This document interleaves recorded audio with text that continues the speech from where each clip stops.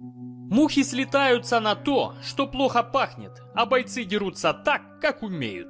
Кто-то пытается победить с помощью техники и скорости, кто-то с помощью богатырской силы, а кто-то с помощью грязных ударов. Привет, краснопузые вишни! С вами Федорович, а в этом видео я вам покажу самых грязных и подлых бойцов ММА, которые использовали любые методы для победы.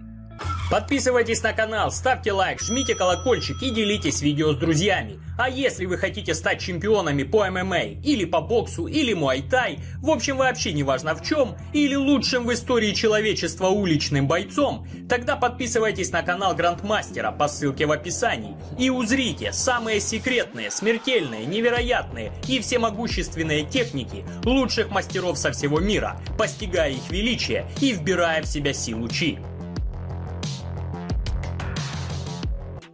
На одного мудреца приходится тысяча дураков, а на тысячу хороших бойцов один дерзкий крысеныш. Но это не точно, может и больше. Майк Кайл – хороший боец, который не гнушался использовать то, что поможет победить. И так, чтобы это не увидели, как в бою против Вес Симса, который он выиграл нокаутом. Но после боя секунданты Симса, а затем и рефери, увидели на груди следы от укуса – после чего разобрали момент, когда Вес хотел придушить Кайла, но тот его укусил, выбравшись таким образом с захвата.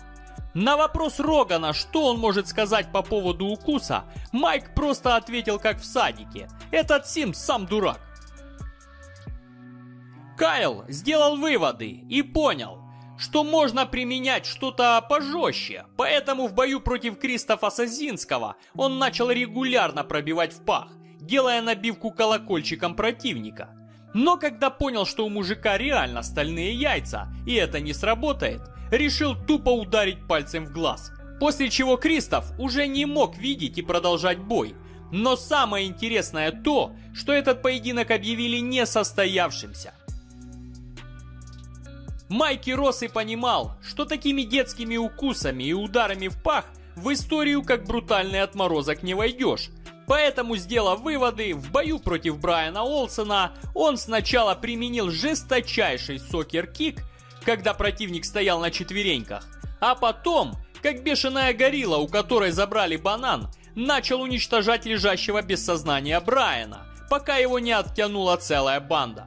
Вот после этого о нем заговорили, правда не очень хорошо. На высоких деревьях и ветер сильнее, а у бойцов с уличным прошлым и техники посмертельнее. Гилберт Ивел, будучи отличным бойцом с кикерским прошлым и ММАшным будущим, имеет приличную историю грязных поединков. Свой путь к славе крысиного короля пацан начал на чемпионате Европы по панкратиону, когда отправил своего соперника Каримула Баркалаева в нокаут, но потом был дисквалифицирован когда рефери увидел на теле проигравшего укусы от зубов Гилберта, который, наверное, перевозбудился в страсти клинча. Следующей жертвой смертоносного мастера стал Дон Фрай на Прайд 16. Когда Гилберт, будучи в клинче, как орел, лишающий бедного зайчика зрения, несколько раз пытался вырвать ему глаза, за что был сразу дисквалифицирован. С чем он был не согласен и возмущался на весь зал – Почему ему не дали желтую карточку, а сразу дисквалифицировали? Ведь он хотел вырвать всего один глаз, а не два. Хотя мог бы. Но Ивелу всего этого было мало, ведь он реально хотел войти в историю как лучший. Поэтому в поединке против Атте Бакмана он тупо боковым вырубил рефери, а потом еще выписал ему поджопник, пока тот стоял на карачках. Как ни крути, но все эти эпические выходки помогли Гилберту подписать контракт с UFC, где он также пытался чудить, но все равно проиграл три боя подряд и с ним попрощались. Меньше молись лежа на диване, а больше трудись в делах. Так же и у бойцов. Можно много говорить о несправедливости и не тренироваться, а можно работать над собой. Или как Чей Конго, над секретными ударами, которые точно принесут победу.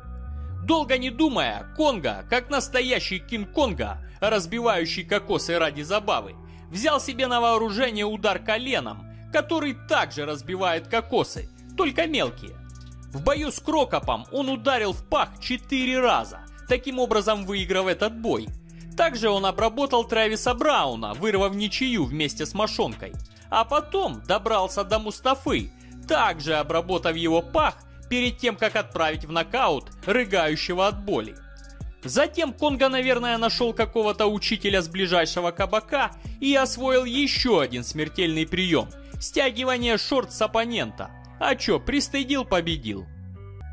Не войдя в логово тигра, не поймаешь тигренка, а не получая удары, не станешь чемпионом. Но эти удары могут быть не совсем по правилам, особенно когда они скрытые. Несмотря на то, что Джон Джонс за всю свою карьеру был дисквалифицирован всего раз, и то не за свою любимую технику, а за удар прямым локтем сверху, с чем, кстати, можно поспорить, многие его считают одним из самых грязных бойцов в ММА. Как Скунс держит всех врагов на расстоянии, как бы ничего и не делая, так и Джон Джонс использует хитрую скрытую технику пальцев в глаз. Удерживая противника на дистанции вытянутой руки, он постоянно вставляет им пальцы в глаза, а затем проводит какой-либо удар рукой или ногой. Также многие фаны и эксперты очень критично относятся к его излюбленному удару стопой в колено, который при нанесении под углом может реально покалечить противника. Конечно, это легендарный боец с удивительным рекордом, но многие фаны его недолюбливают именно за грязь в боях.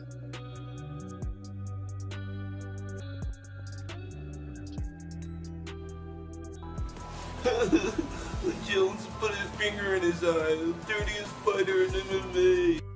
Пишите в комменты, как вы относитесь к грязным приемам в боях и каких бойцов еще знаете. А также обязательно напишите, какие фишки используете вы в своих смертельных зарубах в рюмочных. Подписывайтесь на канал, ставьте лайк, жмите колокольчик и делитесь видео с друзьями. А если вы хотите стать чемпионами по ММА, или по боксу, или муайтай, в общем вообще не важно в чем, или лучшим в истории человечества уличным бойцом, тогда подписывайтесь на канал Грандмастера по ссылке в описании и узрите самые секретные, смертельные, невероятные и всемогущественные техники лучших мастеров со всего мира, постигая их величие и вбирая в себя силу Чи.